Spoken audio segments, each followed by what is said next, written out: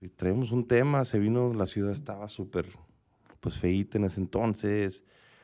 Eh, estuvo muy interesante al principio porque nos enseñó a valorar un chorro de cosas.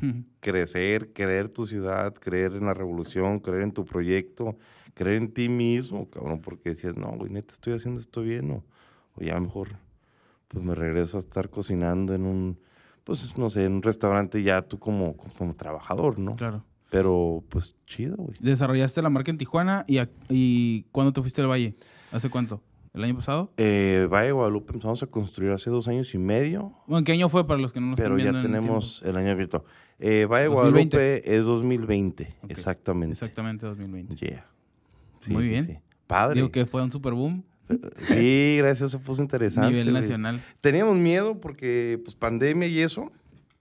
Pero yo creo que nos iba peor si no abríamos. En cuestiones de números y todo, nos sentamos a ver de que si no abríamos nos iba a comer la renta y el personal estaba contratado, capacitado, todo. Sí, todos esperando la y chamba, todos ¿no? esperando la chamba, ¿no? Entonces era, o mejor les damos trabajo y nos ponemos a que corra el motor, o pues, ¿qué onda, no? Y, y gracias a Dios sí fue algo muy, muy interesante, güey. La gente le ha gustado y ha estado chido. Digo, y durante la pandemia, una de las zonas que primero se activaron fue el Valle, ¿no? Por, Sí. eh, por el tema de que todo está abierto, la mayoría está abierto, Ajá. espacios muy amplios. O sea, creo que sí. Y luego, aparte, el viajar como en carro ya no. O sea, la, la gente prefería ir a Valle un fin de semana que irse a otro lado. Pues a fin de cuentas, este. Era como una forma de que ya puedes salir de tu casa, güey. Y todo el mundo Sí. estaba con el miedo de que no vamos a infectar, güey, se acaba el mundo, güey, ¿qué está pasando? Y, y el valle era como que nuestro. Nuestra forma de, de ahora sí que güey. escaparte de estar encerrado tanto tiempo en casa. Y a nosotros nos dio la oportunidad, bueno, a mí no, al Valle le dio la oportunidad de poder trabajar con un aforo este, regulado. Sí. Y, y funcionó, ¿no? La gente estaba fascinada por estar mínimo tomándose fuera una chelita, ya no, ya no en tu casa, que te estaba padre, ¿no? De repente, Sí, pero ya después de un año no mames. pero ya después de dos meses, ya, ya Madre, sácame de esto, ¿no?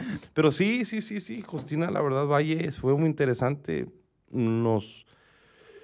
El tema de poder salir de tu casa, tomarte una chela, viendo un viñedo, una buena mixología, una Sí. buena comidita, ya con los amigos se veían, aunque tenías el tema de la sana distancia y todo eso, pero sí, la gente la veía súper feliz, güey. O sea, la verdad, veías a la gente con ganas de gastar, güey, de que, güey, tráeme, no me quiero levantar de la mesa, salir un pedo porque la gente no se quiere levantar. Sí, Estoy a le sirvieran, güey. Hace tres meses, cuatro meses que no salgo de mi casa, quería los Que alguien no le toma fascinados. una no, no, no, no. Es que a todos nos pegó diferente, pero fíjate que yo lo usaba de escapatoria porque seguíamos construyendo en pandemia. Ok. Entonces lo usaba de escapatoria de que de repente, de que, hey, gorda, tengo que Me ir, tengo que ir a trabajar. tengo que ir a trabajar. Y, güey, no me sentaba ahí en el sol y me valía madre, porque a fin de cuentas, pues te salías de tu casa y sí estaba bien chido ir viendo cómo iba creciendo el Sí, restaurante. ¿no? obviamente quieres estar ahí. Pero, pero sí, la pandemia. El escape, fue el escape, ¿no? Valle fue Súper escape de muchas personas. De mucha gente y de